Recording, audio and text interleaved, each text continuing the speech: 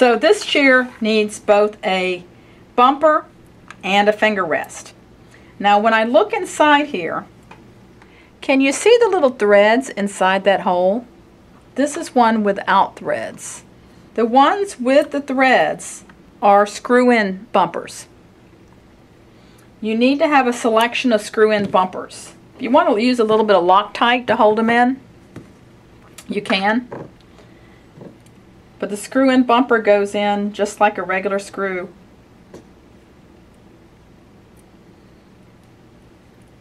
And you screw it in.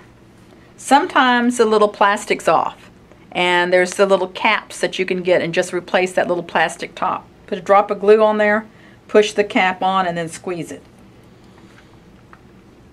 If you don't have a screw-in bumper to fit it, you've checked all your screw-in bumpers, then you can use a regular pull-through bumper that's used on other types of shears that don't have the screw-in bumpers. What you're going to do is close your shear and kind of look at where the width is between the blades. Do you see that?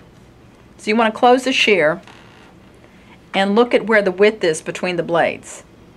That's about the size of the bumper you need. So I'm looking, I'm going to need a pretty big bumper to go through here. And this one may be the right size. I'm going to close it and see. I might be able to go one down size.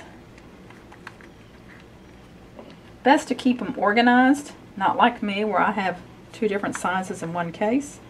But that's the next size down. That looks like about the right size. You pull it through the hole. Sometimes you can pull it with your fingers.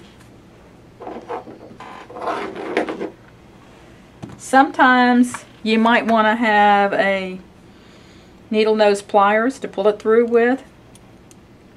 At the point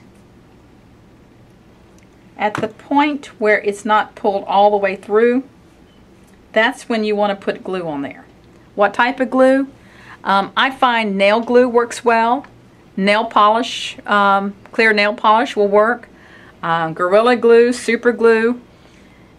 All, you know, there's all sorts of choices of glues. But you're going to pull this in. And if the tip up, oh, look at there, that tip overlaps.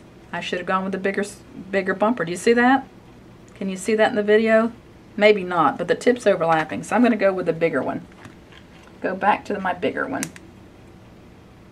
And sometimes this is trial and error. Okay, the big one actually is the right size. If the big one had been too big and I didn't have one the right size, I can always trim the bumper down to make the tips meet.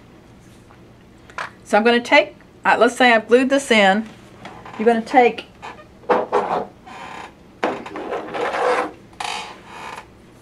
You're going to take a razor blade, or I like some old cuticle nippers, and trim it out. Now you can trim it all the way flush up here, but if you wanted to leave a little bit of a tail, let me show you what we can do here to make that bumper stay where it won't go anywhere. You can take this lighter, melt the back side, and you'll see when that, that flame catches on there. Blow it out and get a piece of metal of some sort and mash in and make a plug. And that bumper is not going anywhere. Sometimes the shear needs a bumper, but there's a bumper still in there. It's just broken off. That's when you need a pick of some sort that you can go in and push it out to get into it. And that's replacing a bumper.